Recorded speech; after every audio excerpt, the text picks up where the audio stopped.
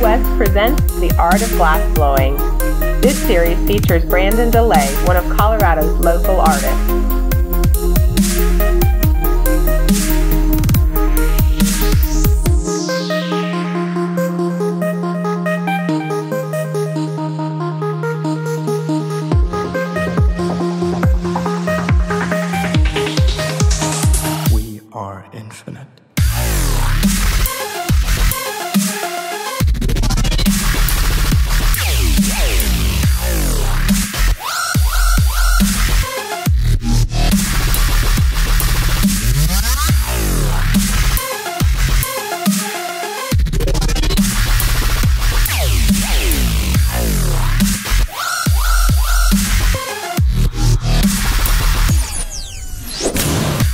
Project begins, Brandon starts out with a clear slug that he heats up to around 1500 degrees so it's soft enough to open up on the end. He is constantly spinning the rod so that the tube stays in a cylinder shape.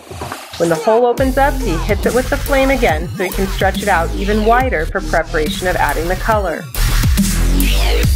After he gets the perfect bell shape, he then starts with his color rod. Infinite. It is at this time that he decides what the inside of his pipe will look like.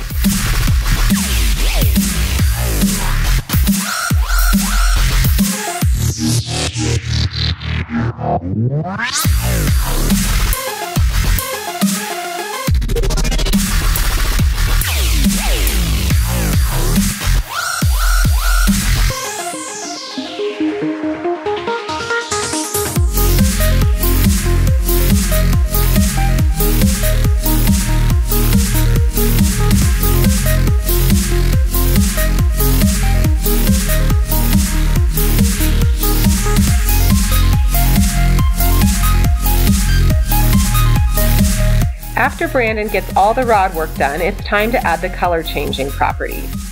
This is done by holding a small piece of silver or gold in front of the flame. The fumes from it get into the pipe, adding a yellow pink or blue color depending on what he has used. Here he is using silver. We are infinite.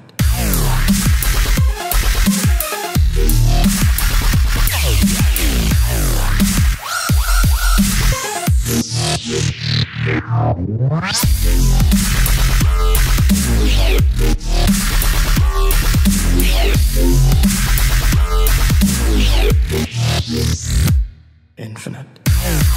The next step in the process is for Brandon to start closing the outside of the bell-shaped slug and start forming the mouthpiece.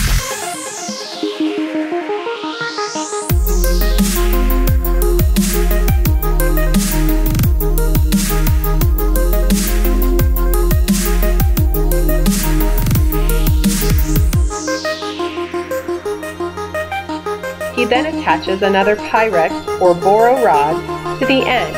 He does this so he can remove one rod and start working on the actual shape of the pipe.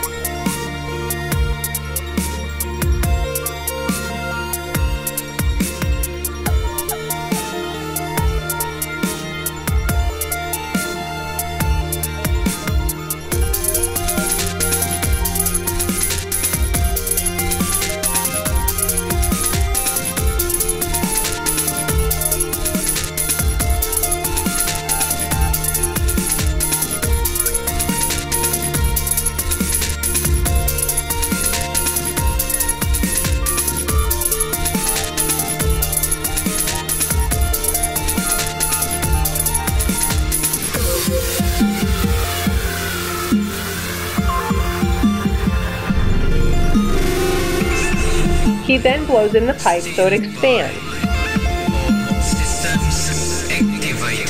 He attaches another rod to start hardening the pipe to give it that quote unquote unbreakable feel that his pipes are known for.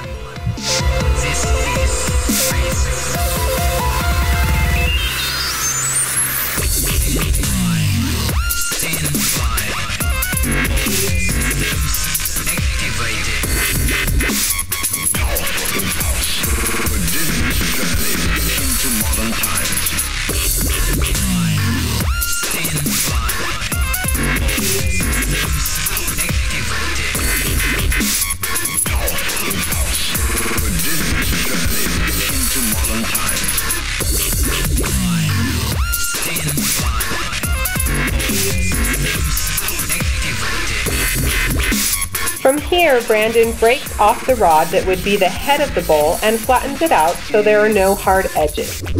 Then he will heat one end to its melting point so he can push into the bowl.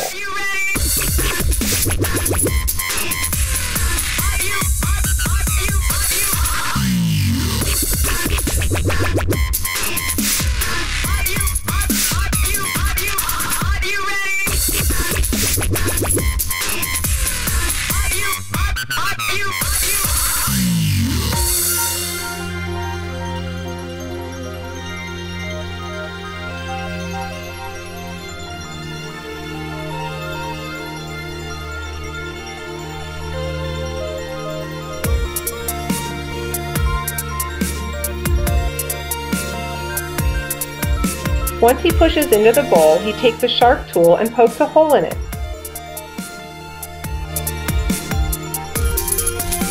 After that, he pushes the bottom side of the pipe on a hard surface to keep the pipe from rolling, so he can stamp his famous B signature onto it.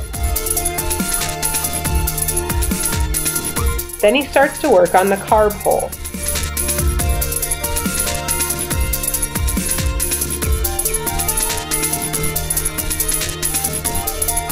Brandon then puts the pipe into the kiln at 20 minutes per inch, which allows it to cool very slowly, so no cracks or stress fractures form. This is also known as annealing.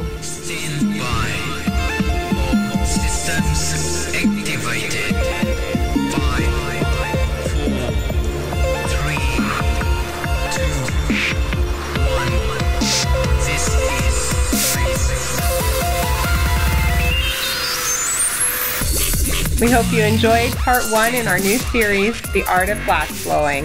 Stay tuned for part two.